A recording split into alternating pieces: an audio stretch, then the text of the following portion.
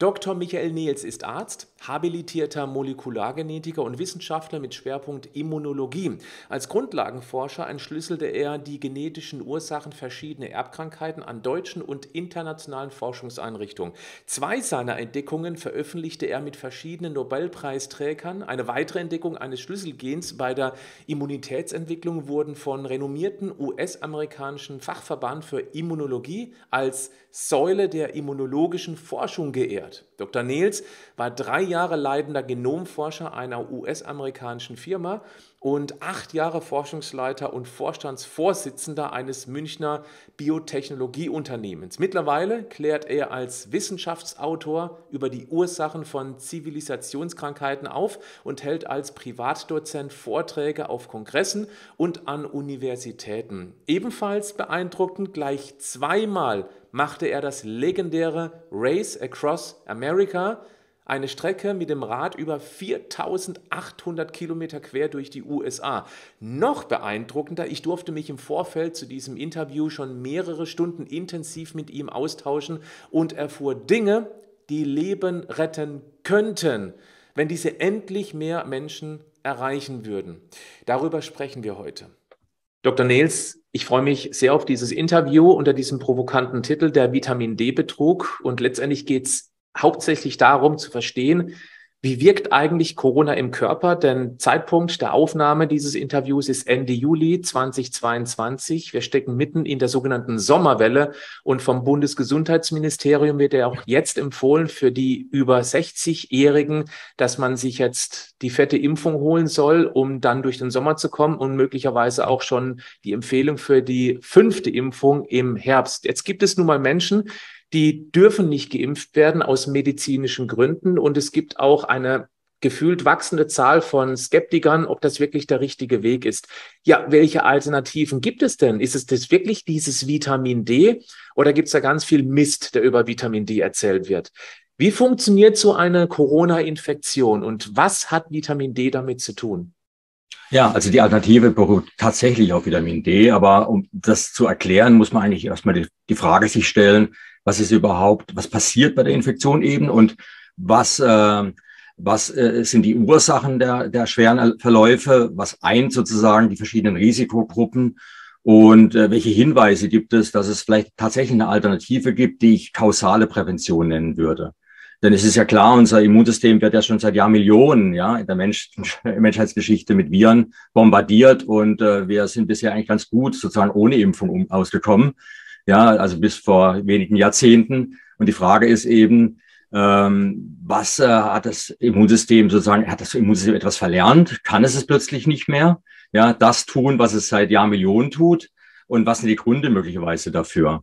Und da gibt es eigentlich ganz gute Hinweise. Erstens mal kam schon ganz früh, also als der Wuhan, in Wuhan die ersten Todesfälle berichtet worden sind, hat man untersucht, woran sterben die Menschen überhaupt.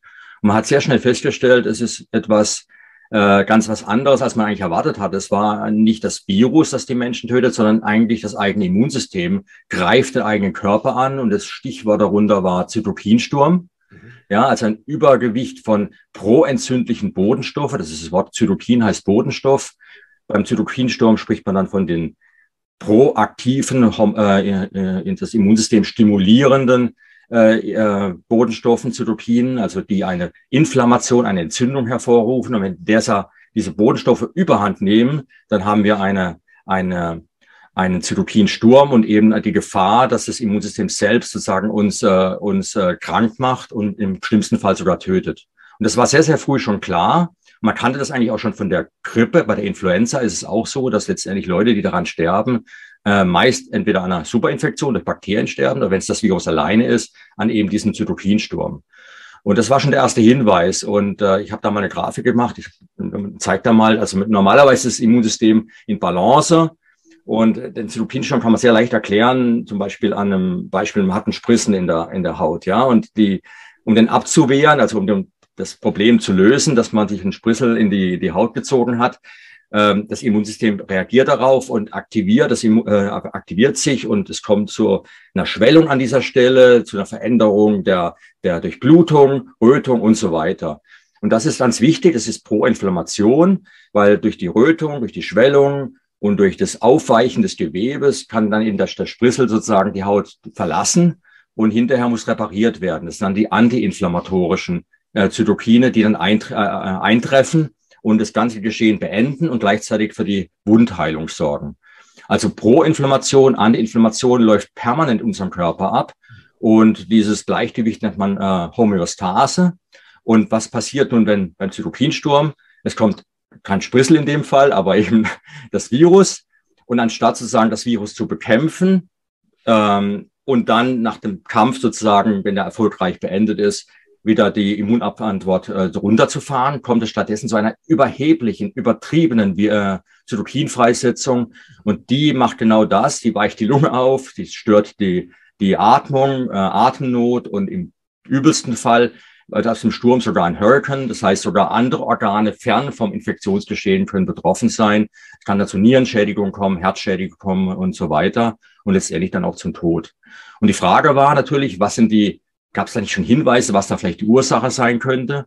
Schon ganz früh der Vorsitzende der, Kommiss äh, der Europäischen äh, Gesellschaft für Endokrinologie, das sind Menschen, die sich mit Hormonen beschäftigen, gesagt, naja, in Italien, das war im März 2020, die Todesrate, die man in Italien beobachtet hat, liegt eigentlich an einem Mangel in der Bevölkerung, vor allem in der Vulnerablen, also der Teil der Bevölkerung, der durch das Virus stark betroffen war dass die einen starken Mangel an Vitamin D haben, das alles erklären könnte. Und das wusste man eigentlich schon seit 40 Jahren von der Grippe. Auch dort hat man schon relativ früh festgestellt, dass es eine Saisonalität gibt im Winter. Man warnt ja jetzt schon wieder vor der Winterwelle, also Herbst, Winter, dass da irgendwas passieren muss. Also irgendwas ist anders im Sommer als im Winter. Man hat schon vor 40 Jahren festgestellt, es muss irgendwas mit dem Sonnenlicht zu tun haben. Und deswegen nenne ich diese Erkältungskrankheiten im Winter eigentlich eher Erdunkelungskrankheiten. Es ist ein Mangel an Licht, weil wir brauchen in der Haut die Vitamin D-Synthese und das Vitamin D selbst ist kausal verbunden mit diesem Zytokinsturm. Heißt, Mangel an, an Vitamin D erhöht die Wahrscheinlichkeit dramatisch, dass es zum Zytokinsturm kommt. Und dafür gab es auch schon ganz, ganz gute Hinweise. Schon sehr früh hat man geschaut, bei Menschen, die jetzt sozusagen ins Krankenhaus kommen mit einem schweren Covid und auch schwere Verläufe haben, wie unterscheiden sich die von denen, die vielleicht keine so starken Verläufe haben. Und da gab es schon sehr früh Hinweise, dass äh, der Mangel an Vitamin D im Herbst, Winter, der noch im Frühjahr sogar noch schlimmer wird, mhm. äh, mit einer erhöhten Mortalität einhergeht.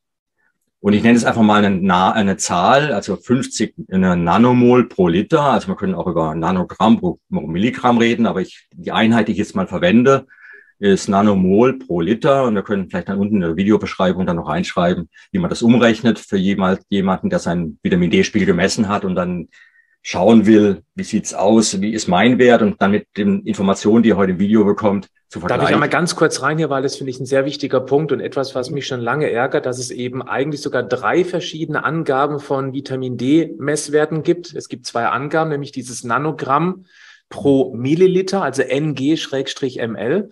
Und mhm. dann gibt's das Nanomol pro Liter und das ist Faktor 2,5 höher. Also wenn man einen Wert von 50 Nanomol pro Liter hört oder liest auf seinem Laborbericht, dann muss man, um auf einen anderen Wert zu kommen, wenn man eben in diesem Kontext spricht, äh, geteilt durch 2,5 machen. Und genau. wenn es um die Einheiten geht, Vitamin D, dann kommt sogar noch ähm, die Bezeichnung Mikrogramm also statt internationale Einheiten. Es gibt hier wahnsinnig viel Verwirrung, was mich schon sehr lange nachdenklich macht, warum das so ist. Aber das ist wichtig, dass man das Viele, die jetzt das Video anschauen, die wissen das, aber es gibt eben genauso viele, die hören das zum ersten Mal und haben auf dem Laborzettel dann einen Wert, wo man in der Einheit sagen, in der einen Einheit sagen würde, wow, ich bin total optimal versorgt, aber dann ist es eben der mit einem Faktor 2,5 mal höher und damit ist man dann unterversorgt. Ich hoffe, man kommt hier mit, weil das ist ein wichtiger Punkt, wo es ganz viel Verwirrung da draußen gibt.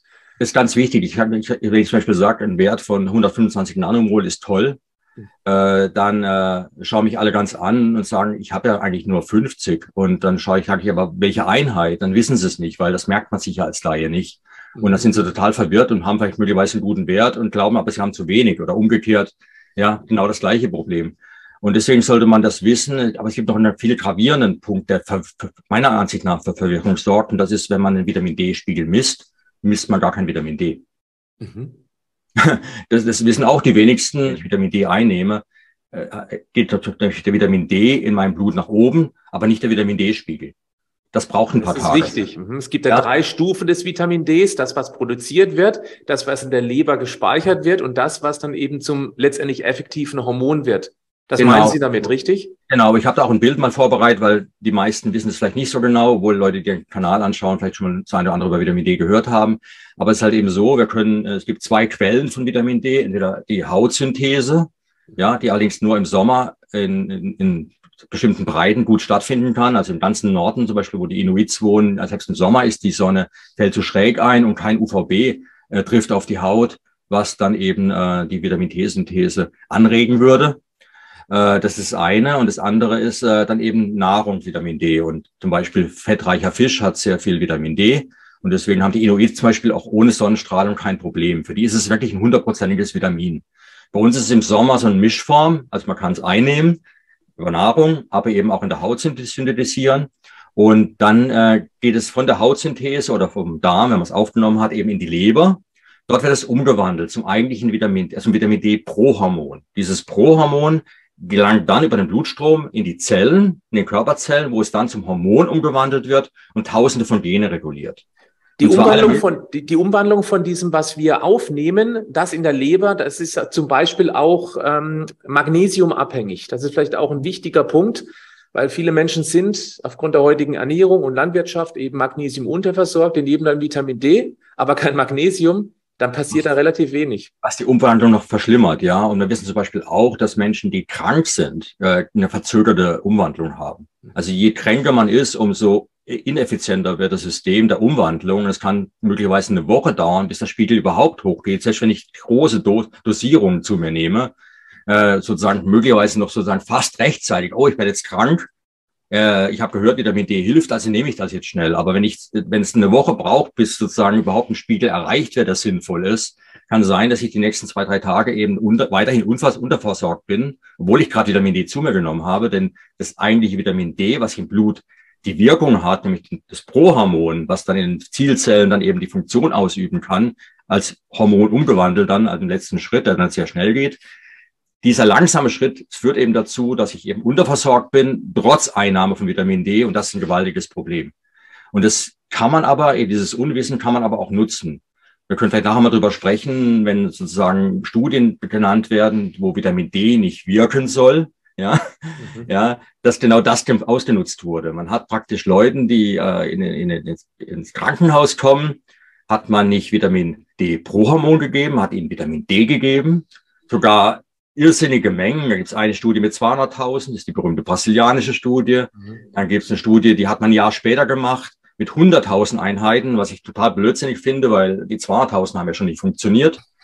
ja, und dann hat man sogar noch mal mit 500.000 in Argentinien die Studie wiederholt und auch keine Wirkung gezeigt. Und ich bin ziemlich sicher, wir könnten Millionen internationale Einheiten in jemanden reinpumpen, der äh, jetzt schon krank ist und, und so krank, dass er ins Krankenhaus aufgenommen werden muss. Wird nicht verhindert, dass der zwei, drei Tage später auf die Intensivstation muss mit Atemnot, weil eben der Zytokinsturm durch das Vitamin D nicht mehr verhindert werden kann weil es die Umwandlung einfach nicht mehr schnell genug geht, wenn sie überhaupt noch stattfindet. Jetzt sind wir gerade bei einem sehr spannenden Punkt. Der Satz eben, einen Zytokinsturm zusammengefasst, ist das, was letztendlich für einen schweren Verlauf sorgt, weil das Immunsystem außer Rand und Band ist und Gewebe zerstört, in der Absicht eigentlich das SARS-CoV-2-Virus oder auch das Influenza-Virus zerstören. Es macht aber viel mehr kaputt, als eigentlich sein darf. Und deswegen im schlimmsten Falle Atemnot oder Todesfall, weil es eben dann auch auf andere Organe.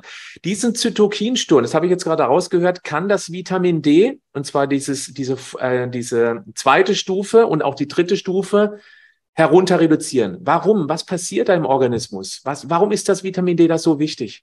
Also Vitamin D ist ein, ist ein Regulator. Ja, es ist wie Testosteron bei Männern, das Männlichkeitshormon sozusagen, Östrogen bei den Frauen und auch Cortisol, das sind alles sogenannte Steroidhormone die eint eine Funktionalität, und zwar, dass sie in die Körperzelle äh, reinkommen natürlich, sind fettlöslich, kommen in die Körperzelle, binden im Zellkern an einen Rezeptor und über diese, wenn diese Bindung stattgefunden kann, hat diese Verbindung, dann kann der Rezeptor tausende von Gene regulieren. Und das ist abhängig davon natürlich, welcher Rezeptor das ist. Östrogen reguliert Sachen, die eben wichtig sind, dass eine Frau ein Kind bekommen kann, zum Beispiel, Zyklus hat und so weiter. Bei Männern, ja, Bartwuchs und so weiter, äh, Muskelwachstum, solche Dinge. Äh, und das Vitamin D hat ganz, ganz viele Funktionen in praktisch allen Bereichen, von Verhinderung von Alzheimer, Wachstum des Gehirns bis, äh, bis eben Knochen, wo man es entdeckt hat, Knochenstabilität und Wachstum aber eben auch das Immunsystem. Das Immunsystem ist ganz entscheidend davon abhängig, dass genügend Vitamin D da ist. Und wenn der Vitamin D-Mangel herrscht, dann kommt es eher zu einer Überproduktion von proentzündlichen, entzündungsförderlichen Zytokinen und einem Mangel an sozusagen entzündungsblockierenden Enzymen, die man, äh, äh, Zytokinen, die man benötigt, um die Entzündung wieder abzu, abzu äh, runter zu regulieren, wenn sozusagen die Infektion äh, überstanden ist. Und das passiert eben nicht unter Vitamin D-Mangel und es wird Ganz besonders beim SARS-CoV-2. Das triggert, das bindet ja an der Oberfläche von den Zellen an einen Rezeptor, nennt man ACE2. Und dieser ACE2-Rezeptor ist selbst verantwortlich für diese Balance und sorgt dafür mit normaler Regulation, dass eine Balance, das, Immunsystem in Balance bleibt. Und durch das, die Bindung wird diese Balance sozusagen gestört. Sie geht in Richtung proinflammatorisch. Und zum Beispiel Vitamin D, eine der Wirkungen ist es, genügend, dieses, genügend von diesen Kopien von diesem Rezeptor herzustellen, sodass halt, wenn der Virus ein Paar bindet, immer noch genügend da sind, um die Regulation aufrechtzuerhalten. Wenn ich aber unter Vitamin D-Mangel einen Mangel an diesem Rezeptor habe, dann kann das wieder, dann kann, kann das Virus alle besetzen und dann habe ich eine massive Dysregulation. Mir fällt da heißt, gerade ein Bild dazu ein, Herr mhm. äh, Dr. Nils, und zwar ähm, eine, eine Wippe auf dem Kinderspielplatz Mhm. Und das SARS-CoV-2-Virus belegt eben dann mehrfach die eine Seite und auf der anderen Seite ist einfach zu wenig Vitamin D als Ausgleich. Das mhm. heißt, wir sollten versuchen, Vitamin D nach oben zu fahren, damit eben dann diese Wippe in Ausgleich kommt. Und dann ist das Immunsystem ausgeglichen. Passt dieses Bild? Ja, im Prinzip kann man es so äh, anwenden. Im Prinzip ist äh, sozusagen die, die, die Wippe, wo es über das sie wippt, sozusagen ist dieser Rezeptor. Und wenn der eben nicht funktioniert, dann habe ich eine Schrägstand von vornherein schon. Ich bin in einem chronisch proinflammatorischen Zustand. Man kennt es als chronische Entzündung, die die Großteil der westlichen Bevölkerung hat, aufgrund der Ernährung, aber eben auch aufgrund von Mangel von bestimmten Mikronährstoffen. Da gehört auch Selen und Zink und andere, andere dazu. Aber Vitamin D ist gravierend. Es ist insofern gravierend, als dass oder will ich es mal anders formulieren, jeder Mangel an einem Mikronährstoff, der essentiell ist, führt zu einer Dysbalance. Mhm. Aber es ist nur für Vitamin D gezeigt worden, und zwar gravierend, dass wenn ich da noch rechtzeitig interveniere, entweder präventiv oder wenn dann eben wie der brasilianische Studie schon Patienten ins Krankenhaus müssen, dann eben nicht Vitamin D gebe, sondern Vitamin D pro Hormon. Mhm. Und wenn ich das mache, reduziere ich zum Beispiel die Wahrscheinlichkeit, dass der Patient dann auf Intensivstation muss, gegenüber der Kontrollgruppe, die das pro, pro Hormon nicht bekommt, um Faktor 25. Also, wow. das muss man sich mal vorstellen. Also, das ist wirklich wow. 25. Faktor 25. Das heißt, wenn ich sozusagen diese, dieses, dieses Prohormon gebe und dann also interveniere, was im Prinzip ein kausaler Beweis ist, dass eben das Vitamin D-System entscheidend ist, ob ich nun eben auf der Intensivstation lande oder nicht. Das ist Faktor 25. Und dieses Experiment war nicht zufällig. Also das berühmte MIT, Massachusetts Institute of Technology Harvard Universität Boston, die haben das untersucht und haben die Studie genau, also wirklich auseinandergenommen über Zeiten, Statistiker und haben gesagt, kann das ein Zufall sein? Weil sehr kritisch, ne? oder ist es tatsächlich dem Vitamin D Prohormon geschuldet, dass wir diesen massiven Effekt haben? Und die haben gesagt, wir müssen über eine Million Mal so einen Versuch wiederholen, um das Ergebnis zufällig, dass das Ergebnis zufällig so ist. Also, also das ist absolut safe hochsignifikant. Es ist sogar so hochsignifikant, dass ich mein Buch gesagt habe, also Buch Herrengesundheit gesagt habe, weitere solche Studien durchzuführen, ja, weitere solche Studien durchzuführen, halte ich für absolut unethisch. Und Leute, die jetzt fordern, ja, das, nun, das war nur eine kleine Gruppe von acht, knapp 80 Leuten, das kann doch nicht sein. Da habe ich zwei Argumente dagegen. Erstens, wenn das Ergebnis so eindeutig ist, ja, dann brauche ich keine große Studie. Und im Extremfall nur ein Gedankenexperiment. Es gibt kein, keine klinische Studie, die bisher bewiesen hat, dass auf eine heiße Herdplatte zu fassen gefährlich ist. Hat noch niemand gemacht. Mhm. Weil das Ergebnis ja eindeutig ist. Ich meine, ich brauche nur eine Versuchsperson, die lang, die, ja, die, die fasst die Herdplatte an, schreit und sagt, Aua, ja, und dann, und, und, und dann braucht man keine zweite, um zu beweisen, dass es sozusagen, ob das statistisch signifikant ist. Es ist statistisch signifikant. Eine Person reicht. Und die Kontrollgruppe wäre auf eine kalte zu lang, kein Problem, ja. Und das ist, das, das reicht schon. Große Studien brauche ich nur, wenn die Effekte sehr gering sind. Mhm. Ja, ja, mhm. Aber das Witzige ist ja, dass große Studien, die oft bei Medikamenten gemacht werden, wo, die man einfach nur gibt, weil die Menschen eigentlich einen Vitamin D-Mangel haben, gibt man ein Medikament. Aber das Medikament kann ja den Mangel nicht ausgleichen. Insofern bleibt die Grundproblematik ja bestehen, warum die Krankheit entstanden ist. Und man versucht eigentlich nur die, die Symptome zu therapieren. Und wenn dann die Effekte nicht besonders groß ist, brauche ich halt 10.000, 20.000 Leute in der einen Gruppe und in der anderen Gruppe, um dann die kleinen Unterschiede rauszufiltern, ja. Ja, verstehe. Aber diese, diese Größe der Studie wird dann als, als sozusagen als, als etwas, als Verkaufsargument genommen. Oh, schon mal eine große Studie, ja. Aber eigentlich, wenn, wenn man darüber nachdenkt, ist genau das Gegenteil der Fall. Je größer die Studie, umso schwerer die Effekte, die da bewiesen wurden. Mhm. Ja, und das heißt, ähm, äh, die kleinen Studien reichen eigentlich. Und dann, und das zweite Argument eben gegen größere Studien im Falle von Prohormon oder Vitamin D-Gabe ist halt eben das, dass man sagt, naja, wie würdest du entscheiden, der jetzt eine größere Studie äh, fordert, wenn du selbst in die Gefahr läufst, krank zu werden und in die Kontrollgruppe zu kommen? Ja, also wenn ich jetzt ins Krankenhaus müsste mit einem ja, schweren Covid und Angst haben müsste, auf Intensivstation zu kommen, beatmet werden zu müssen und möglicherweise zu sterben, dann würde ich einen Teufel tun und sagen, bitte macht ein, Experiment mit mir, gibt mir vielleicht oder vielleicht auch nicht das Bohormon oder eben ein Placebo, ein Scheinmedikament und dann macht er eine schöne Studie mit mir. Äh, ich würde sagen, Gott im Himmel, gibt mir Vitamin D Prohormon. Ich will auf keinen Fall einen schweren Verlauf. Ja, und das ist aber ja, ignoriert worden. Es wurden tatsächlich noch größere Studien gemacht, insgesamt noch drei weitere. Also eine noch mal kleinere in Amerika, aber mit dem gleichen Ergebnis letztendlich wie in Cordoba. Ich nenne es die kleine Cordoba-Studie, die, die ich da äh, jetzt gerade hingewiesen habe. Aber es gab dann noch eine große Cordoba-Studie mit fast 1000 Teilnehmern, dann eine große Barcelona-Studie, auch nochmal 800, 900 Teilnehmer und man kam zum gleichen Ergebnis. Also ebenfalls so große Effekte. Ich meine, ein Faktor waren nicht ganz so gewaltig, aber sie waren äh, gravierend. Also 90 Prozent Reduktion, schwerer Verläufe und so weiter und so weiter. Und das heißt, äh, man hätte sehr, sehr viele Menschen retten können. Und in Barcelona, glaube ich, war es, da hat man es dann noch rausgefunden, die, die man nicht hat, hat retten können vor einem schwereren Verlauf dann, ja, also in Richtung, in die, wenigen, die man nicht rettet, die hatten von vornherein schon einen sehr geringen Vitamin D-Spiegel. Also sie hatten alle einen geringen Vitamin D-Spiegel, aber da war es natürlich auch bei geringen Vitamin D-Spiegel gibt es ja Gradierungen, etwa, also sehr, sehr wenig gegen wenig und noch weniger. Und, mhm. und dann hat man eben festgestellt, wenn der Vitamin D-Spiegel ein bisschen höher ist in der Gruppe als im Durchschnitt, dann ist die Wahrscheinlichkeit, dass man, äh, dass die sozusagen der, die Intervention versagt, 70 Prozent reduziert. Da das heißt auf Deutsch, wir haben eine, wir müssen präventieren. Mhm. Ja, wir müssen präventieren mit Vitamin D. Dann habe ich gar nicht die Problematik, dass ich jetzt noch mit Vitamin D pro Hormon eingreifen muss. Mhm. Ja, ich lasse es gar nicht erst so weit kommen. Und da gibt es auch wirklich wunderschöne Studien. Also das wissen die meisten nicht, weil äh, die Vitamin D-Prävention in den Medien ähm, immer nur auf wenige Studien hingewiesen wird. Aber in Wirklichkeit, das ist der Stand Juni 22, gibt es 82 Interventionsstudien, also Präventionsstudien mit Vitamin D. Also nicht Vitamin D pro Hormon, ich rede jetzt wirklich von Vitamin D. Das, was man als Pille, als Tropfen zu sich nehmen kann. Genau, was man so praktisch über die Sonne in der Haut produzieren kann. Zum Beispiel das, ja. Und äh, wenn man das sozusagen präventiv macht, also noch bevor man erkrankt oder bevor man eine Infektion hat, dann wirkt das hervorragend. Alle Studien, die gemacht worden sind, zeigen, Vitamin D schützt vor schweren Verläufen. Mhm.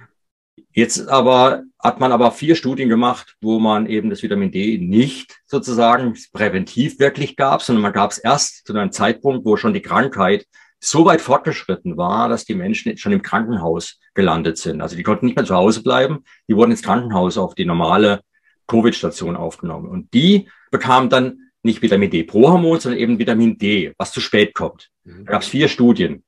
Eine war sogar so spät, da hat man es erst gegeben, als die Leute schon auf Intensivstation waren. Und dann, und okay, eine, dann die erste Stufe, die wir vorhin schon gelernt haben, muss erst noch umgewandelt werden und dann mhm. nochmal umgewandelt werden. Und äh, das ist im Krankheitsfall sogar nochmal deutlich verzögert. Also eigentlich genau, ein völliger heißt, Humbug. Das heißt, man wusste, also jeder, sag mal, der sich mit Vitamin D auskennt und ich nehme mal an, dass Leute, die so eine Studie durchführen, das eigentlich tun, weil ich meine, man lässt ja nicht in Laien jetzt so eine Studie durchführen.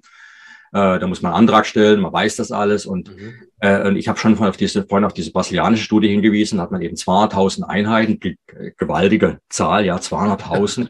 ja, man soll ja nur ja, 400 bis 800 nehmen offiziell, also ein viel, vielfaches, ja.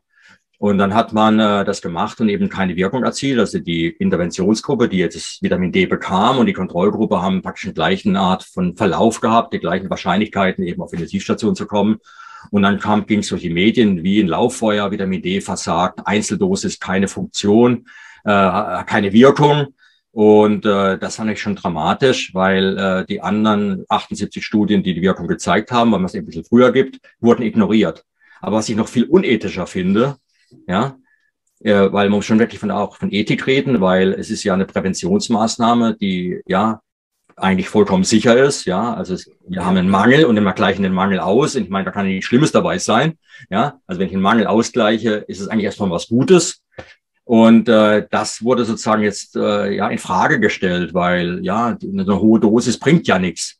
Aber zwei Sachen sind bei dieser Studie noch passiert, die mich wirklich ärgern, als Wissenschaftler ärgern. Das eine war, dass man in dieser Studie, die wurde ein halbes Jahr nach der Publikation der Cordoba-Studie gemacht, mit gleichem Studiendesign. Also ganz kurz, Cordoba war die, wo rauskam 25-fach erhöhte Wirkung. Ja, also Oder weniger Wahrscheinlichkeit, schweren Verlauf Wahrscheinlichkeit, dass man auf Intensiv muss und so, noch, noch ergänzend dazu zu sagen, in der Kontrollgruppe, die kein Vitamin D-Prohormon bekam, starben acht Prozent. Mhm. In der Interventionsgruppe starb niemand. Also die, die Vitamin D-Prohormon haben, ist niemand gestorben. Ja. Deswegen Und, auch der Vorwurf der Unethik. Ja, deswegen der Unethik. Ich meine, ich würde nicht äh, weitere Studien fordern. Ich würde sagen, Leute, gibt allen Menschen Vitamin D Prohormon, wenn sie schon ins Krankenhaus müssen. Noch besser, gibt ihnen Vitamin D, dass, die, dass sie diese Woche haben, um den Vitamin D Prohormonspiegel, mhm. was ja eigentlich der Vitamin D-Spiegel ist, der Vitamin D Prohormonspiegel, um den anzuheben. Mhm. Und äh, dann hätte man eine wunderbare Prävention und genau den, die, diese Situation, die man eben versucht, dann noch ganz schnell noch irgendwie mit Vitamin D pro Hormon äh, hinzubekommen. Aber was ich eben unnötig fand bei dieser brasilianischen Studie waren zwei Dinge. Das eine ist, sie wurde publiziert ein halbes Jahr später mit gleichem Studiendesign. Also Studiendesign heißt, Menschen kommen ins Krankenhaus mit, mit Covid, Lungenentzündung und werden in zwei Gruppen zufällig eingeteilt und die eine Gruppe bekommt eben jetzt einen Stoff und die andere Gruppe bekommt ihn nicht. Und dann vergleicht man das die Auswirkungen. Wenn ich nur Vitamin D gebe, kein Effekt, gebe ich Vitamin D pro Hormon, ein gewaltiger Effekt. Mhm. Und die Logik ist eben in der, in der Biologie von Vitamin D pro Hormon und Vitamin D, also dem Stoffwechsel. Da ist die Logik dahinter. Aber was man jetzt machen müsste, wenn man so eine Studie publiziert wie die brasilianische, die ja im Prinzip die Cordoba-Studie kopiert, mit einem kleinen Unterschied, eben nicht pro Hormon, sondern Vitamin D, die erwähnt diese Studie gar nicht. Die wird noch nicht mal diskutiert.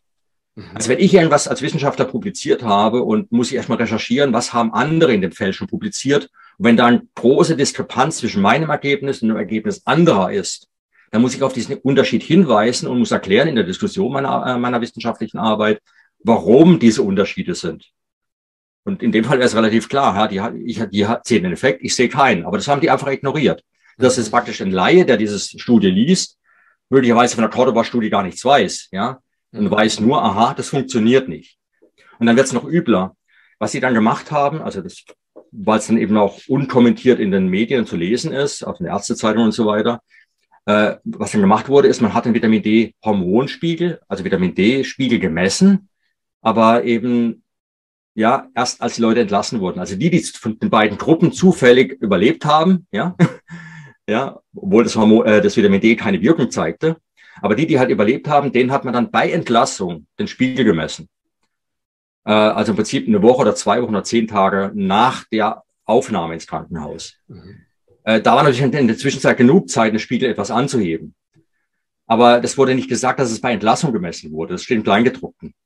Ja, das also heißt, die Leute, das heißt, das Ergebnis, was hinten rauskam, sprich bei der Entlassung, für jemanden, der die Studie nicht richtig liest, das Kleingedruckte nicht entdeckt, der denkt, okay, die kam schon mit einem einigermaßen vernünftigen Spiegel auf die Intensivstation zum Beispiel. Ja, genau. Also sieht man ja, es hat keinen Zweck.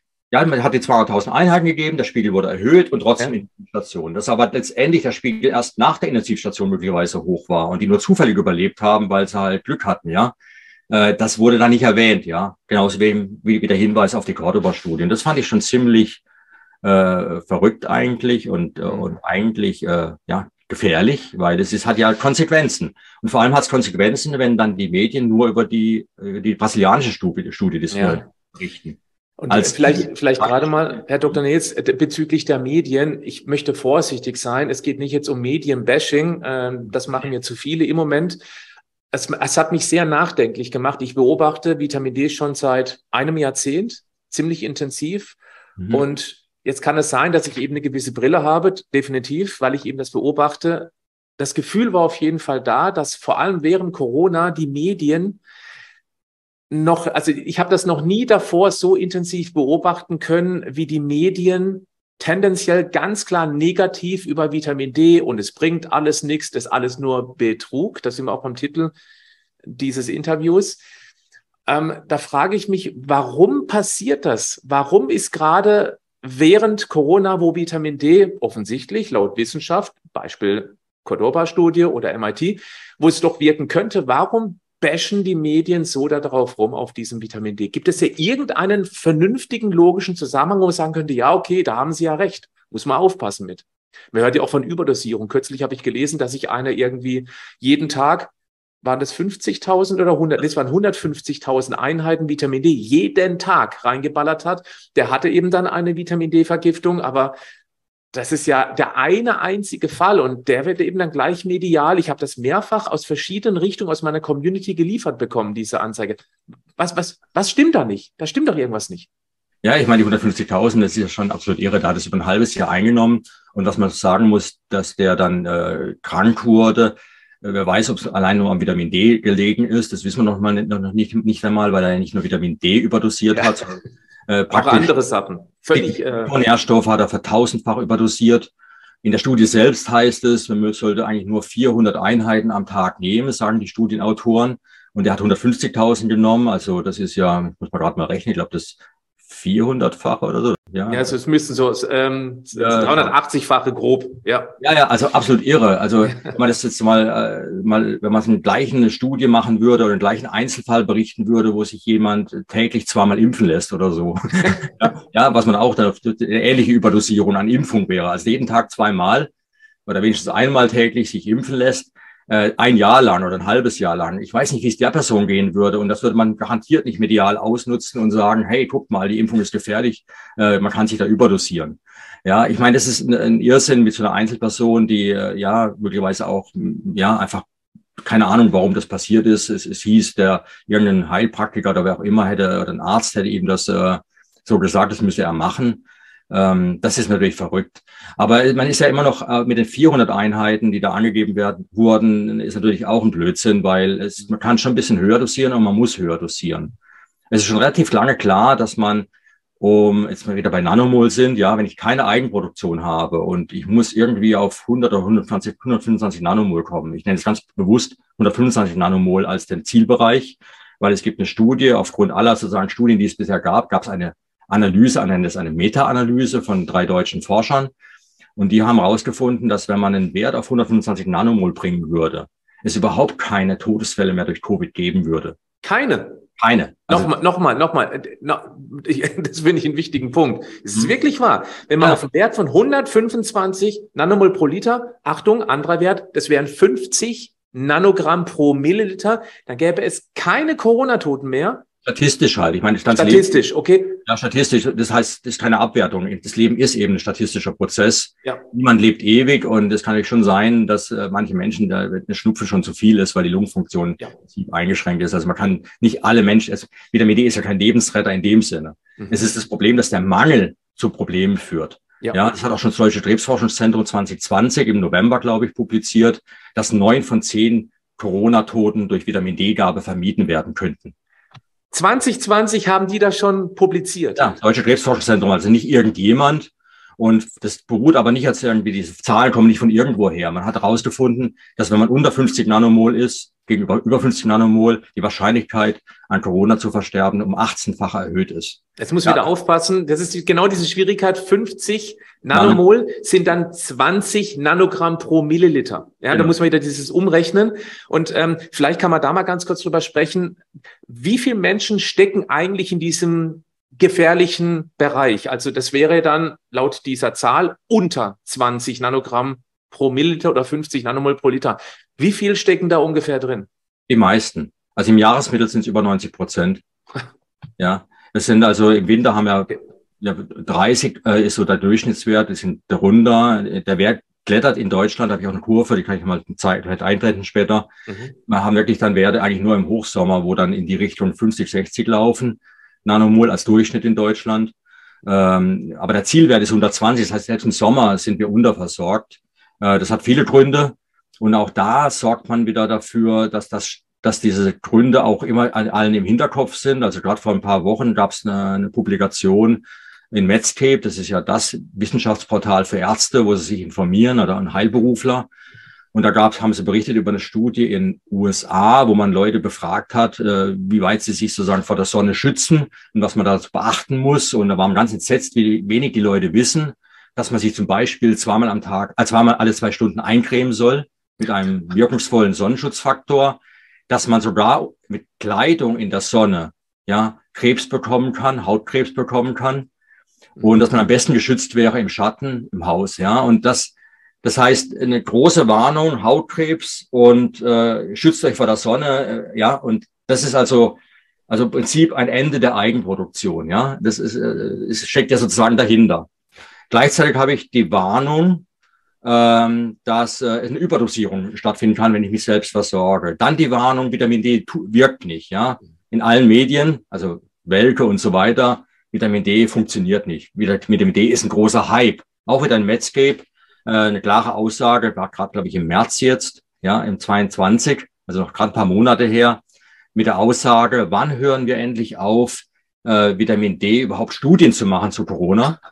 Echt? Das äh, weil, wirklich? Weil, das stand da drin, weil die alle insignifikant wären, also von, von wissenschaftlicher Unbedeutsamkeit, ja, keine sozusagen statistische Signifikanz. Also ich habe vorhin gesagt, eins zu einer Million bei der Cordoba-Studie, aber das ist hochsignifikant, aber er macht einfach pauschal, es gibt keine signifikanten Studien. Das zweite war, Aussage war, wann hören endlich Ärzte auf, überhaupt Vitamin D zu messen? Und die dritte Frage, die dieser Herr gestellt hat, ein Kardiologe, dass er überhaupt einen Raum bekommen hat, solche Fragen zu stellen, finde ich erstaunlich. Die dritte Frage war dann, äh, wann äh, hören endlich Patienten auf, äh, unnütz Geld auszugeben für Vitamin D? Das heißt, eine klare Aussage, bleibt im Schatten, am besten ja. im Haus, wenn er rausgeht, äh, dichte Kleidung tragen, Sonnencreme drauf. Äh, das heißt, selbst im Sommer keine Chance, genügend Vitamin D aufzunehmen und dann, äh, also über die Haut zu synthetisieren, dann äh, nimmt kein Vitamin D zu dir. Und die Kombination, ja, äh, sorgt natürlich für einen gravierenden Mangel an Vitamin D in der Bevölkerung. Und da wir gewiss wissen, dass der Vitamin D eigentlich im, im Normbereich, und ich meine jetzt nicht der Normbereich von Normalität, was in der Bevölkerung ist, sondern Normbereich, was natürlich wäre, ja, was man auch bei Wildvölkern misst, die ja, bei Wildvölkern, die noch so leben wie früher. Ich meine, das ist ja offensichtlich. Die leben nicht den ganzen Tag in Höhlen. Was nee. wollen die auch in der Höhle oder Hütte den ganzen Tag? Da gibt's ja nicht mal Netflix. Sage ich da immer, das ist langweilig, also waren die draußen. Die kennen auch keinen Sonnenschutz, die waren halt eben vom frühen Frühjahr bis in den späten Herbst draußen, haben einen ganz natürlichen Vitamin D-Level aufbauen können, sind mit einem vollen Speicher in den Herbst, in den Winter gegangen, mhm. ähm, und das tun sie heute noch, und füllen ab und zu eben auch mal mit Fisch nach. Das darf man nicht vergessen. Also die essen ja auch durchaus, nicht alle, aber eben etwas, was Vitamin D noch enthält. So kommt man gut über den Winter.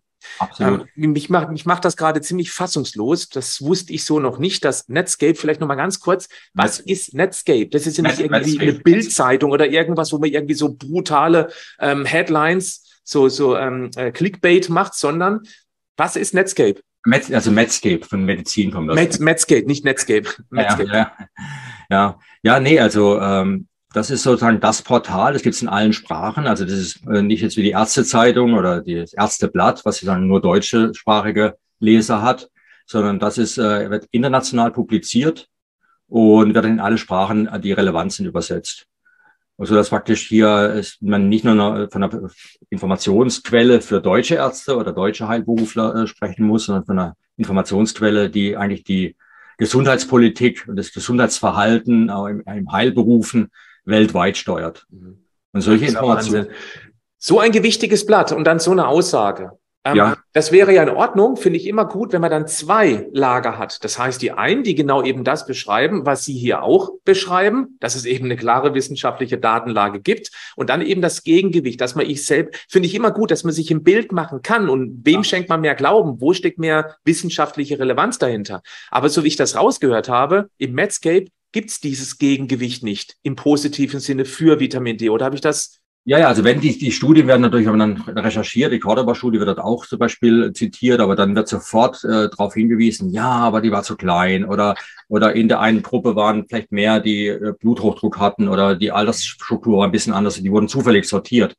Äh, was dann nicht mehr groß erwähnt wird, ist, dass es noch eine zweite, dritte oder vierte Studie gibt oder dass äh, das MIT gezeigt hat, dass es tatsächlich nur aufs Prohormon ankam und nicht auf den Gesundheitszustand Vorerkrankungen der, der beiden Kohorten, die ja, wie gesagt, zufällig war. Mhm. Und äh, da hat keiner gesagt, ich mache es nur, den Vitamin D gebe ich nur denen, die keinen hohen Blutdruck haben, ja, sondern es wurde ja von vornherein randomisiert, das heißt eine zufällige Zuordnung. Mhm. Äh, das wird alles nicht so genau erwähnt und äh, das zeigt natürlich, dass man hier einseitig Bericht erstatten will und äh, dass letztendlich, ich meine, die Aussagen, die jetzt gerade im März kamen im Medscape, äh, man soll äh, ja Vitamin D gar nicht mehr messen, gar keine Studien mehr durchführen und das ist schon gravierend und dann die gleichzeitige Warnung, sich vor Sonne zu schützen und dann haben wir eine Kombinatorik, die letztendlich lebensgefährlich ist. Ich meine, ich gebe da zurück aufs Deutsche Krebsforschungszentrum. Neun von zehn hätten durch Vitamin D-Gabe gerettet werden können. Und das ist ja eine Aussage, die aufgrund von Studien gemacht worden ist. Und schon 2020? Ja, im November. Aber man hat ja schon im April wurde dann sogar die, in die Maßnahmen vorgeschlagen. Also wer eine Infektion hat, einen positiven Test hat, sofort 10.000 Einheiten jeden Tag, um den Spiegel möglichst schnell hochzubringen mhm. und nach einer Woche oder so oder zwei Wochen dann auf 5.000 runter eine Erhaltungsdosis. Ähm, jetzt könnte man sagen, ja, 4.000, 5.000 Einheiten, das ist ja weit über dem, was äh, zum Beispiel die DGE oder äh, die Behörden so empfehlen. Das wird ja nur 800 sein. Ja, aber nur in Deutschland. Ja, also zum Beispiel auch, ja, die, die Europäische Behörde für äh, Lebensmittelsicherheit die EFSA, ja, EFSA. Mhm. Ja, genau. Die hat zum Beispiel schon im, ich glaube 2012 war es, gesagt, dass äh, also 4000 Einheiten für Erwachsene und Erwachsene gilt man in dem Fall jetzt ab elf Jahren schon, mhm. also, bei, also Jugendliche, äh, elf bis sogar bis ins höchste Alter 4000 absolut okay ist.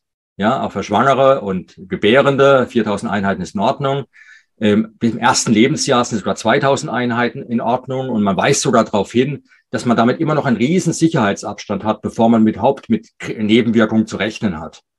Und die Hauptnebenwirkung ist ja vielleicht das auch mal ganz kurz zu erwähnen, was auch immer und immer wieder, das sehe ich eben auch medial ähm, erklärt wird, dass es eben dann zur Kalzifizierung kommt, weil eben Vitamin D hilft, das Kalzium besser aufzunehmen. Und wenn es dann zeitgleich nicht noch das Vitamin K2 dazu gibt, dann kann es eben sein, dass sich das an, Achtung, entzündeten Blutgefäßen ablagert oder auch in den Nieren ablagert. Und dann kann es ein Problem werden. Nochmal, nur bei sehr, sehr hohen Dosierungen und wenn selbst, wenn selbst eine öffentliche Behörde auf EU-Ebene die Kinder natürlich mit einem gewaltigen Sicherheitsabstand dran, wenn die empfiehlt, 4000 Einheiten jeden Tag, Sommer oder Winter. Ja, ist eine toler tolerable Höchstgrenze. Ich meine, es geht ja darum, man muss jetzt nicht jeder 4000 Einheiten mhm. nehmen am Tag. Das ist ja gar nicht nötig, wenn ich genügend Eigenproduktion habe. Das muss ich eben ab, abstimmen. Es kann sein, dass ich im Sommer vielleicht nur ein oder 2000 Einheiten brauche. Ich erwähne jetzt mal eine ich mache noch einen weiteren Hinweis. Diese 800 Einheiten, das weiß man auch schon sehr lange, beruhen eigentlich auf einem Rechenfehler. Ja. Also man will eigentlich die 50 Nanomol erreichen. Und, äh, und wenn man jetzt davon ausgeht, man hat keine Eigenproduktion und bekommt nur 800 Einheiten, dann reicht das nicht. Es gibt genügend Studien.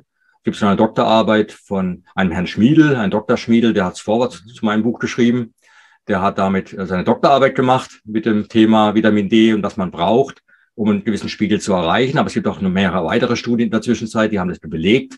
Man braucht, um, um ein Nanomol zu erhöhen, braucht man 50 internationale Einheiten. Mhm. Also wenn ich jetzt gar keine Eigenproduktion habe und sagen wir mal auf 100 Nanomol kommen will, dann brauche ich 100 mal 50 internationale Einheiten, das sind 5000. Mhm. Und auf die 50 zu kommen, was ja für die Knochengesundheit ausreichen soll, Nanomol pro Liter, nicht Nanomol Nanogramm, weil 50 ja. sind eben die 20, wie vorhin ja, schon erwähnt. Wir müssen es, glaube ich, unter die Videobeschreibung nochmal genau hinschreiben, damit mhm. es wieder nachrechnen kann leicht. Aber der Punkt ist eben, wenn ich auf 50 Nanomol kommen will, habe keine Eigenproduktion im Winter, dann komme ich mit 800 aber gerade auf 16. Ne? 800 sind ja gerade. Nanomol pro Liter. Ja, es sind 16 mal 50, ja, äh, Einheiten und das sind dann so 16 Nanomol pro Liter, die ich gerade von null erhöhe, dann bin ich auf 16.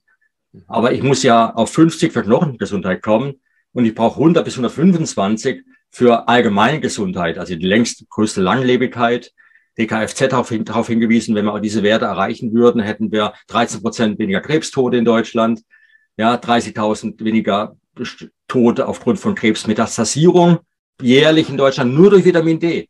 Das heißt, wenn ich Vitamin D gebe, habe ich ja nicht nur den Effekt sozusagen jetzt, ich habe eine bessere Chance bei einer Corona-Infektion. Ich habe auch bessere Chancen bei einer Influenza-Infektion. Ich habe bei jeder respiratorischen Erkrankung bessere Chancen, weil ja die Impfung ja nur gegen das eine helfen soll, aber nicht gegen alle anderen. Und dann habe ich noch das Thema äh, Knochengesundheit, Krebsprävention, weil Krebs ist ja auch ein, ein Mangel an Immunüberwachung. Ja, ich meine, Krebszellen entstehen ja dauernd in meinem Körper und das ist aber kein großes Problem, solange mein Immunsystem die angreift und zerstört diese veränderten Zellen. Aber unter Vitamin D-Mangel funktioniert das nicht besonders und die Konsequenz ist eindeutig. Die Krebsrate steigt. Das heißt, wir könnten mit einem natürlichen Vitamin D-Spiegel so viel Gutes bewirken, mhm. äh, aber auch natürlich weniger Umsatz machen in vielen, vielen Bereichen, von Chemotherapie bis äh, Osteoporosebehandlung ja, Hüftknochenreplantation, äh, also Transplantation, wenn dann der Knochen bricht im Alter. All diese Dinge passieren ja nur, weil wir chronisch an Vitamin D unterversorgt sind. In einem meiner Videos, auch über Vitamin D, hatte ich das mal als Rechnung aufgemacht, um 3000 Einheiten Vitamin D zu bekommen. Über einen ganz gewöhnlichen Nahrungsergänzungshersteller wäre die Investition pro Tag bei 0,7 Cent, nicht Euro, Cent, 0,7 Cent. Und wenn mhm. es die Bundesregierung entschließen würde, Gesundheitsministerium, dass wir eben mal wirklich eine Kampagne machen, um die Menschen einfach mal so minimal zu versorgen, um auf diesen Wert von diesen 50 Nanogramm pro Milliliter, 125 Nanomol pro Liter zu kommen, dann wäre das eine finanziell sehr überschaubare Geschichte. Ja. Natürlich ähm, für die eine Seite. Für die andere Seite, und das mag jetzt verschwörerisch klingen, ähm, ich, ich kann da auch nicht mal ähm, was dagegen sagen, weil wir leben nun mal im Kapitalismus und da muss Geld verdient werden. Und dass die eben dann sich gegen einen Stoff wehren, der sehr günstig zu verabreichen wäre, und dann eben auf der anderen Seite drastisch weniger Krankheitskosten verursachen würde, ja, das ist eben das kapitalistische System. Und ist mal völlig neutral. Und das ist immer so die Problematik. Das heißt, die einzige Chance, die ich immer wieder erkenne, ist, sich selber zu informieren, weil wer jetzt immer noch dabei ist bei diesem Interview, der fühlt sich bestätigt, weil er oder sie das eben schon genau so macht und auch selber an sich gespürt hat, hey, ich komme irgendwie mit weniger äh, Erkältung oder Grippe durch den Winter. Das ist ein Feedback, was ich sehr häufig bekomme. Und die anderen, die jetzt noch dabei sind, die vielleicht auf der Kippe standen, unsicher waren, dass man die vielleicht dazu motiviert, einmal den Spiegel zu messen. Das kann man heute sogar von zu Hause aus machen oder eben beim Arzt. Investition grob 30 Euro, um dann gezielt auf diese vernünftigen Werte aufzufüllen, die unsere Vorfahren 100.000 Jahre lang hatten, weil die eben draußen waren von Frühjahr bis Herbst, nicht in der Höhle. Das ist immer der große Unterschied, weil ich, ich bekomme immer wieder gesagt, ja, aber früher haben die das ja auch nicht gebraucht. Ja, natürlich nicht, weil die eben draußen waren und nicht in der Höhle, weil die keinen Sonnenschutz hatten. Ich bin nicht gegen Sonnenschutz, ganz wichtig. Wir brauchen ja. den heute, weil wir von der Höhle in den Hochsommer in Urlaub fliegen und dann plötzlich von 0 auf 100 maximal UVB abbekommen, UVA, das verbrennt die Haut, das ist gefährlich. Das war früher anders, aber wir haben heute eben die Möglichkeit, durch Nahrungsergänzung auf vernünftige Werte zu kommen und das für sehr, sehr überschaubares Geld. Ja, absolut richtig. Also wir könnten ganz locker Prävention betreiben und deswegen macht es mich auch ein bisschen ja, mehr als ärgerlich, weil letztendlich, wenn man die DKFZ-Aussage nimmt, keiner hätte an Corona sterben müssen. Äh, wenn man dann noch weitergeht, äh, eine Folge-Meta-Analyse, dass im Prinzip äh, gar niemand hätte sterben müssen ja, statistisch. Statistisch. Und, mhm. Ja, und man das weiter jetzt sozusagen in Kauf nimmt, indem man sogar noch sagen wir, mal, vor Sonne warnt, vor Vitamin D-Einnahme warnt, von offizieller Seite. Also was heißt offizieller? Also von der Seite, die äh, ja die Ärzte informiert und die ja keine Zeit haben im Klinikalltag jetzt die ganzen Studien zu lesen. Mhm. Äh, das finde ich dramatisch. Und ich fand eigentlich schon dramatisch, als man die ersten Studien zur Wirksamkeit des Impfstoffes gemacht hat. Das ist auch das, was ich dann nicht geschehen ist eigentlich. Also wenn ich einen neuen Wirkstoff auf den Markt bringen will, ich war ja in der Pharmaforschung viele Jahre auch. Ich habe ja acht Jahre lang ein Biotech-Unternehmen geleitet, mit, das mit der Pharmafirma kollaboriert hat und äh, zusammengearbeitet hat. Wir wollten neue Wirkprinzipien finden. Wir haben Grundlagenforschung gemacht. Und ähm, also ich kenne so dann dieses, dieses Terrain. Und das, was immer klar war, ist, wenn ich jetzt einen neuen Wirkstoff habe gegen irgendeine Krankheit, ja, dann muss ich die gegen die bestmögliche Alternative testen. Also ich kann nicht den Wirkstoff auf den Markt bringen und tu, tun, als wenn es keine Alternative gäbe. Mhm. Ja, Also ganz extremes Beispiel, also wirklich extrem und absolut absurd. Aber Menschen, die jetzt einen Typ-1-Diabetes haben, sind zwingend davon angewiesen, dass sie Vitamin D, äh, dass sie, Entschuldigung, dass sie Insulin, Insulin bekommen, gespritzt. Mhm. Und für die wäre es natürlich ein Segen, wenn man, wenn man das Insulin einfach schlucken könnte. Kann man aber nicht, das Protein wird im Magen zer, zer, zerlegt. Aber wenn man jetzt einen Wirkstoff hätte, und da sucht ja die Pharmaindustrie danach, der praktisch die Insulin ähnliche Wirkung hat, aber eben zu schlucken wäre, dann hätte man das Problem, dass man sich nicht täglich spritzen muss, was ja keine schöne Sache ist, hätte man hinter sich. Wenn man jetzt so eine Studie, wenn man so einen Stoff hätte, man würde die Studie durchführen, dann wäre die Kontrollgruppe, wie, wie wird man die gestalten? Wird man der Kontrollgruppe Insulin vorenthalten? Also die, die nicht diesen Wirkstoff bekommen, den neuen, was, wenn man das machen würde, würden die alle tot umfallen. Mhm. Dann würde man sagen, wow, der Wirkstoff schützt vor Tod. Mhm. Ja, also das ist lebensrettend. Aber in Wirklichkeit muss man eigentlich nur schauen, ist er wirklich besser wie das Insulin? Und deswegen muss man gegen Insulin testen. Bei den Impfstoffen hätte man, und das ist die Forderung in meinem Buch, wo man ja letztendlich die Herden, Herdenimmunität wollte, mhm. habe ich gesagt, naja, man müsste eigentlich gegen eine gesunde Herde testen. Also ja, eine gesunde Herde bedeutet, Mikronährstoffe, Mikronährstoffe müssen ausbalanciert sein, damit kein Zytokinsturm entstehen kann. Also nur als Beispiel genügend Vitamin D. Wenn ich jetzt eine Studie machen würde, ich teste einen neuen Stoff, sei es ein Impfstoff, der mich jetzt sozusagen vor Corona schützen soll, dann muss die Kontrollgruppe nicht eine ungeschützte Gruppe sein, weil die bestmögliche so eine Alternative ist eben mit Vitamin D zu schützen. Und wenn unter Vitamin D aber gar keine Todesfälle mehr sind, ja, und keine schweren Verläufe, ja, statistisch, aber präventiv möglicherweise zu 100 Prozent äh, oder zum hohen, hohen Prozentsatz, dann ist sozusagen die Wirkung des Impfstoffs dann möglicherweise nicht mehr so gewaltig im Vergleich. Ja, aber gegen, man hat nur gegen eine ungeschützte getestet.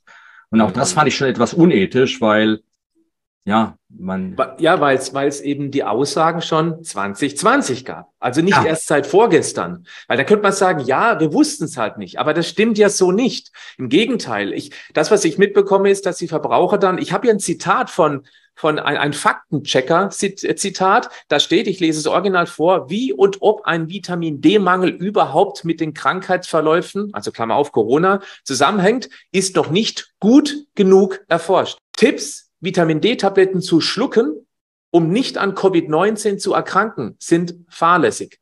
Achtung, ich finde, das ist ein sehr interessanter Satz, weil der impliziert noch etwas. Und das wird auch nicht behauptet von denen, die für Vitamin D sprechen. Es heißt ja nicht, dass wir, wenn wir Vitamin D nehmen, nicht krank werden. Ein ganz wichtiger Punkt. Ich mag da auch ein Zitat und das möchte ich gern Ihnen überlassen, weil es ist von Ihnen nämlich das mit dem Auto. Sagen Sie es ruhig mal, weil ich finde, es bringt es wunderbar auf den Punkt in diesem Kontext.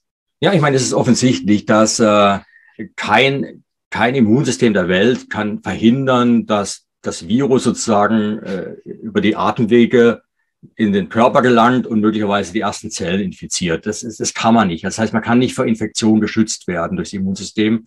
Und mein, mein Beispiel für Leute, die sich jetzt nicht mit dem Immunsystem so aus, auskennen, ist ganz simpel. Äh, äh, wenn man einen Autounfall hat, ja, also mit dem Auto fährt, ähm, dann schützt das ein Airbag ja auch nicht davor, dass es passiert, ja, sondern er schützt nur sozusagen davor, dass man eben nicht eine schwere Folgen hat dieses Autounfalls. Schweren Verlauf. Ja, einen schweren Verlauf. Ich kann nicht verhindern, dass ein Auto in ein anderes Auto in dich hereinfährt, ja.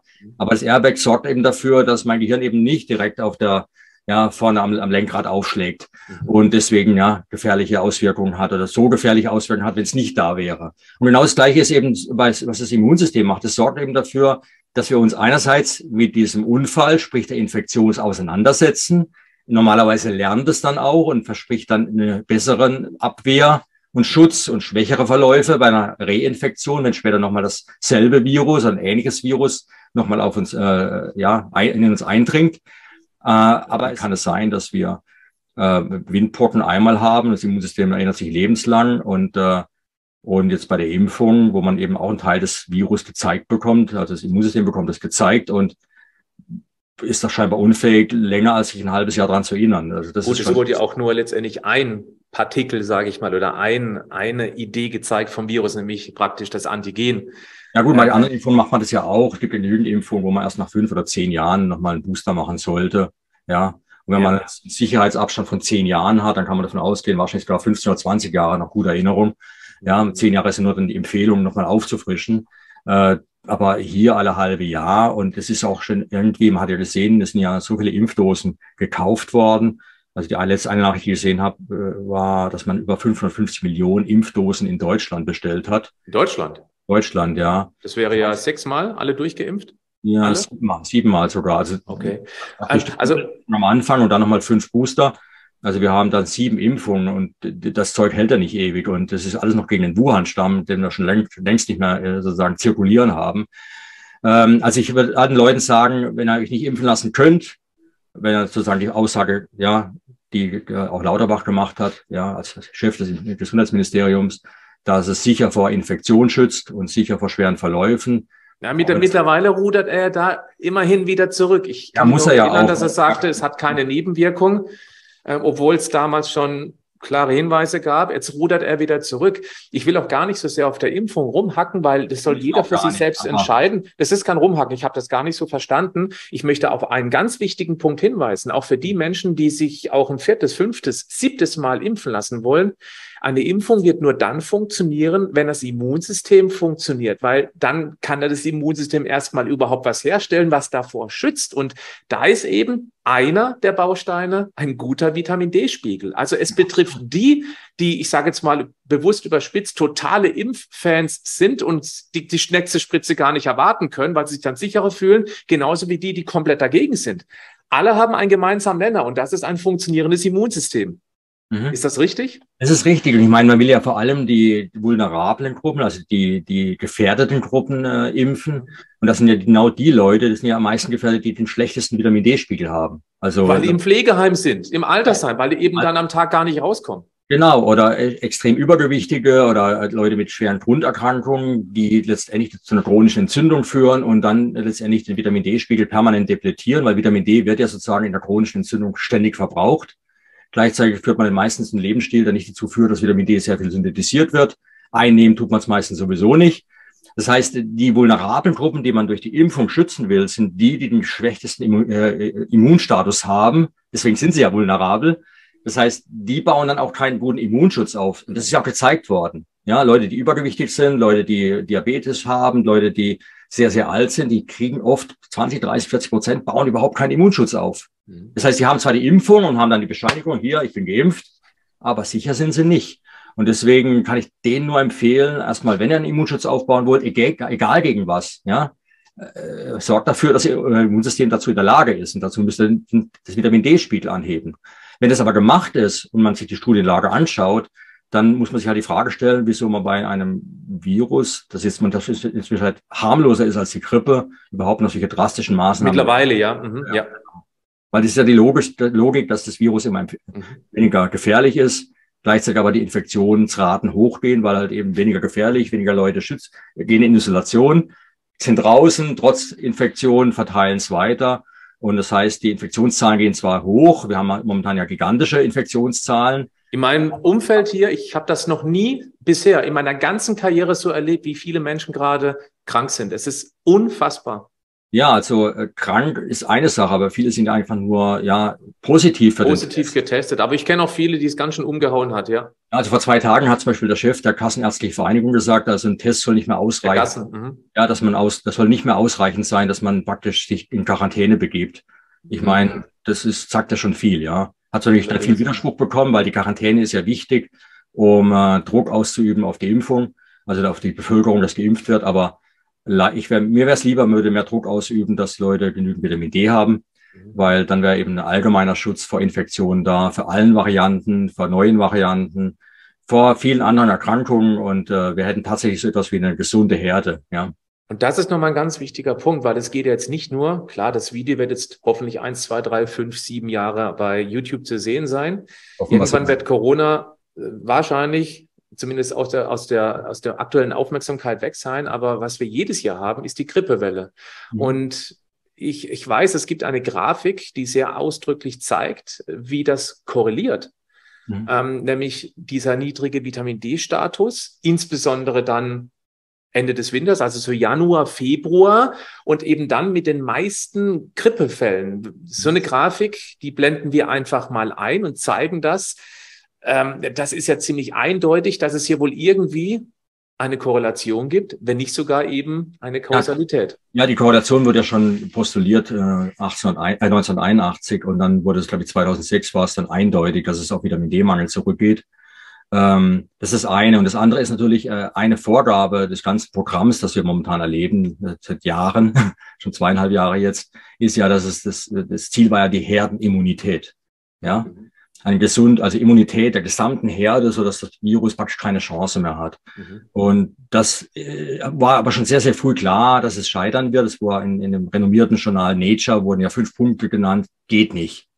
Ja, und die Punkte haben sich jetzt in der Zwischenzeit in meinem Buch auf zehn Punkte erhöht, warum es unmöglich ist, Herdenimmunität zu bekommen. Das heißt, äh, die Vorgabe des ganzen Programms ist jetzt ja nicht von vornherein zu scheitern verurteilt gewesen und aufgrund dieser zehn Punkte muss es scheitern. Und äh, das heißt, ich kann Herdenimmunität nicht erreichen, aber was ich erreichen kann jederzeit, ist Herdengesundheit. Und, und das ist eine ganz, ganz tolle Sache, ja, weil Herdengesundheit wäre jederzeit erreichbar und es war, und zwar ohne Lockdowns, ja, ohne, ja, sogar ohne Maskenpflicht, weil wir hätten dann einfach irgendwann mal eine Durchseuchung der Bevölkerung.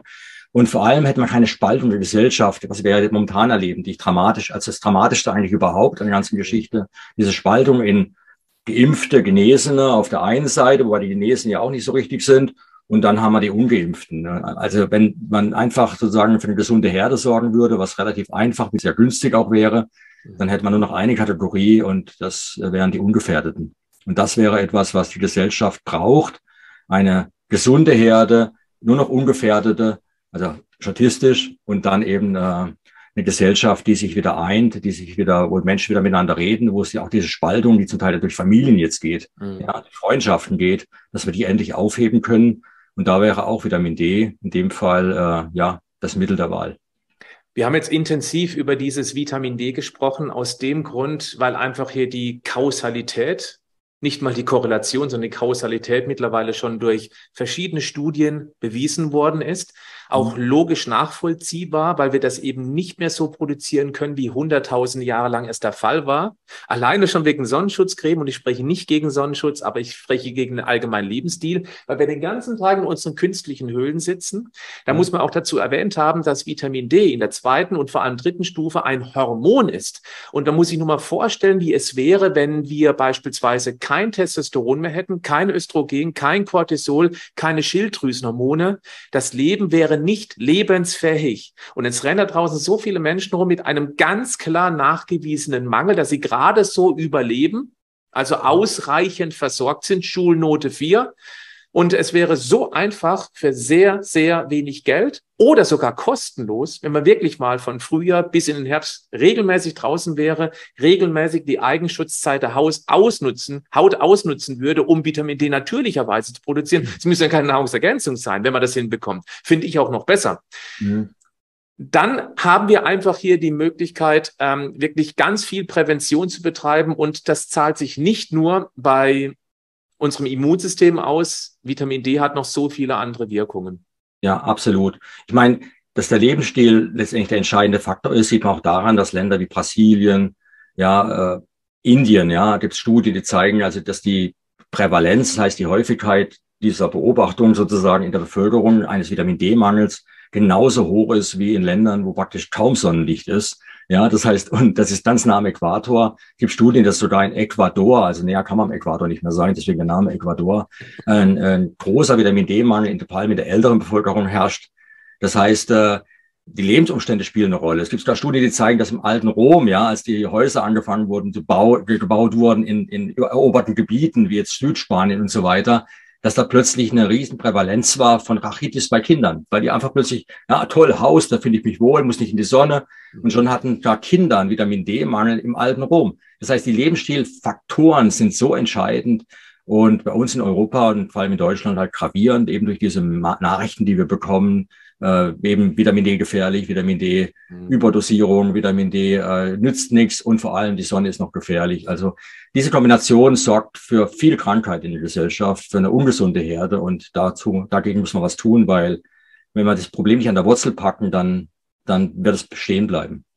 Ich finde das auch sehr schade, dass so kleine Lichter wie wir so intensiv und da schon sehr lange über dieses wichtige Thema aufklären und die Medien, die eine sehr große Macht haben, man nennt es ja auch die vierte Gewalt im Staat, mhm. tatsächlich eben, das empfinde ich zumindest so bewusst schlecht recherchiert oder mit welchen Absichten auch immer, ich möchte da gar nichts unterstellen, weil ich es nicht weiß, so negativ über das Vitamin D sprechen, immer wieder davor waren, wie jetzt schon mehrfach erwähnt, anstatt mal die andere Position einzunehmen und ganz klar darauf hinzuweisen, weil es der Gesamtgesundheit unserer Bevölkerung drastisch zuträglich wäre. Bewiesenermaßen. Das macht mich sehr nachdenklich und auch ein bisschen nervös, wenn ich ehrlich bin.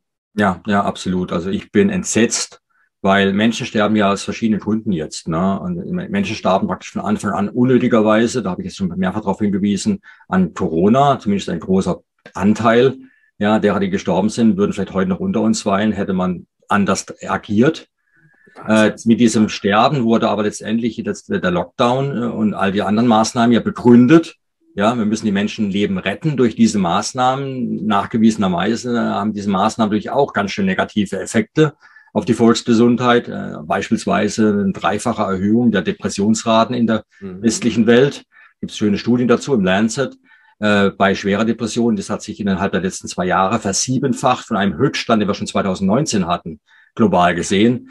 Also eine dramatische Zunahme an seelischen Erkrankungen, die natürlich alle möglichen Ursachen haben von ja, Isolation der Menschen, ja, Lebenssinnverlust, äh, Verlust möglicherweise des Arbeitsplatzes, äh, der Berufsaussichten, ähm, ja, und eben die Einsamkeit. Und all diese Dinge machen mich ganz, ganz wütend, weil ich ja weiß von Anfang an, das hätte alles ja verhindert werden können. Wir hätten praktisch die Todesfälle verhindern können, dann damit auch die, die Basis sozusagen ver vermeiden können, die jetzt zu diesen ganzen Maßnahmen geführt haben. Mhm. Und letztendlich äh, stehen wir am Schluss mit dem Impfprogramm da, dass äh, ich will das gar nicht, nicht mal die Wirkung zeigt, die man uns eigentlich versprochen hat. Ich meine, ja. das, ist, das ist mittlerweile keine Verschwörungstheorie mehr, das ist wissenschaftlicher Fakt. Das gibt ja mittlerweile sogar unser Gesundheitsminister zu. Ja, ja, ja. Ich meine, ich habe ihm ja gedankt am Ende des Buchs, in meiner Danksagung, weil er hat ja gesagt, und ich glaube, ich lese das gerade mal vor, weil es einfach ein schöner Schlusssatz vielleicht auch wäre. Also ich habe Herrn Lauterbach gedankt und ich muss nicht falsch zitieren, weil das darf man ja nicht. Also zitiere ich ihn mal richtig. Das War das in der Danksagung? Ja, in der Danksagung. Da hat er einen Tweet abgesetzt am 16. Mai 2020, ja. Also auf der nächsten Seite sieht man das unten. Da sagt er, eine Impfpflicht macht bei SARS-CoV-2 so wenig Sinn wie bei der Grippe. Also da war noch in der Opposition. Ne? Wenn die Impfung gut wirkt und sie auch freiwillig, wird sie auch freiwillig, freiwillig gemacht, dann ist keine Impfpflicht notwendig. Oh, Entschuldigung.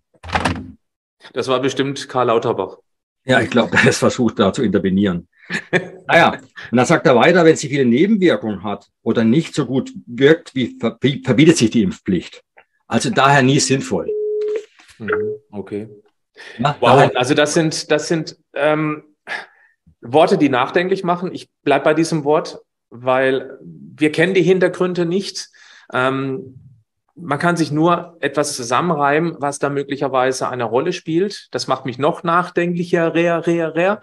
Ich bedanke mich auf alle Fälle für dieses hochspannende Interviews. Wir werden auch ähm, diese Studien, die Sie genannt haben, in die Show Notes des Podcasts verlinken und mhm. letztendlich auch natürlich unter das Video. Im Video wurden einige Grafiken eingeblendet. Das mache ich in der Post-Production, mhm. damit man auch sehen kann, dass es auch wirklich nachvollziehbar ist, weil nichts ist wichtiger, gerade heute, als dass man Aussagen, die man tätigt, die so Signifikanz haben, dass man die auch selber, wenn man möchte, nachprüfen kann. Da kann man sich selber ein Bild machen, ob das jetzt wieder Schwurbelei ist, Verschwörungstheorie, ob das wieder solche Cherry-Picking-Studien sind. Nein, es gibt auch eine sehr spannende Seite, auf die ich am Schluss hinweisen möchte, die ich ebenfalls noch mit verlinken werde, die ich schon seit mittlerweile, ich glaube, mindestens ein Jahr, eher eineinhalb Jahre verfolge. Und zwar, das ist vdmeta.com.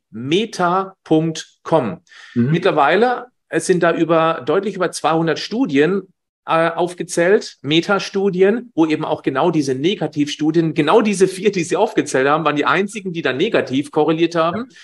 Ähm, das werde ich mit reinpacken, weil das ist wirklich sehr umfangreich, was man da alles dann sich selber an Wissen zu diesem hochspannenden Thema aneignen kann. Mich würde es freuen, wenn das viel mehr Entscheider, also Ärztinnen oder Ärzte erreichen würde, weil denen die Menschen doch immer noch das meiste Vertrauen schenken. ähm, damit eben hier hoffentlich mal ein gewaltiger Ruck durch die Gesellschaft gibt. Ich würde dringlichst darum bitten, dass man dieses Video, den Podcast auch mit Menschen teilt, die einem am Herzen liegen, weil es geht hier um ein überlebenswichtiges Thema. Das muss man sich mal auf der Zunge zergehen lassen. Und da hilft es natürlich, wenn man viele Menschen erreicht, die möglicherweise, äh, möglicherweise skeptisch sind, aber generell bereit, ähm, das eigene Denken diesbezüglich zu hinterfragen. Da würde ich mich sehr freuen.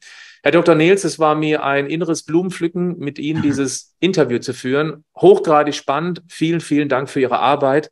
Das Buch von Ihnen, und Sie haben nicht nur ein Buch geschrieben, ein sehr spannendes, das ich hier ausdrücklich empfehlen möchte, ist Herdengesundheit. Selbstverständlich werde ich es ebenfalls verlinken.